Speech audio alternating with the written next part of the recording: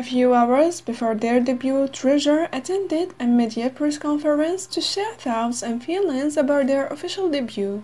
And as you know, Treasure is the first rookie group of YG Entertainment after four years since the debut of Blackpink. This is also the group that owns the most members of YG ever. But the most notably, the group has two leaders, Hyunsuk and Jihoon. At the press conference, Treasure explained why they have two leaders. First, Jihoon said we were advised that having two leaders will be a better choice, so I was chosen as the leader with Hyunsuk, and we are trying to create synergy between the members as leaders.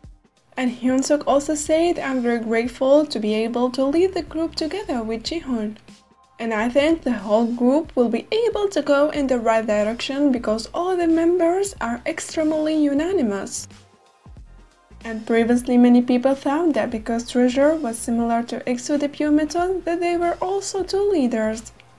And at first the group planned to debut with two small groups, Treasure and Magnum expected to debut from July 2019.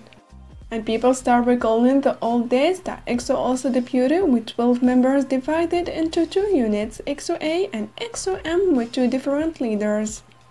And however, after a long time, a member left and with that a change was made in form of debut.